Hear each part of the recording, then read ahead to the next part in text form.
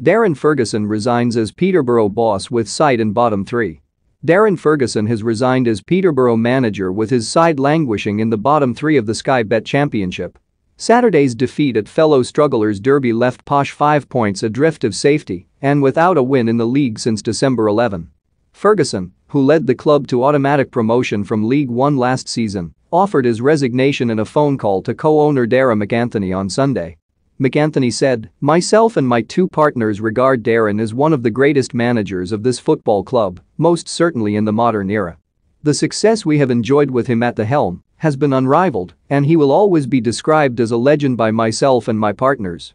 I want to personally thank him for all his hard work on behalf of the club, particularly in his third spell, when he dealt with the unquestionable frustration at the season being cut short due to COVID-19 and then responding by securing promotion the following season against all the odds.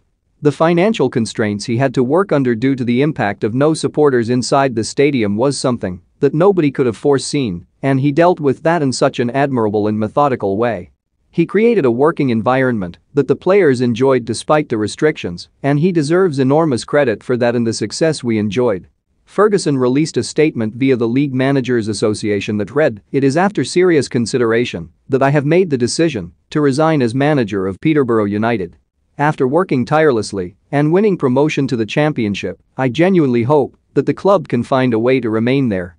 Thank you to the players and staff who were committed to the task in hand. Particularly Liz, Elsom, Kieran, Scarf, Barry, Fry, and Bob Burrows. I would also like to express my respect for Darragh MacAnthony who has shown endless support and commitment to Peterborough United throughout the years.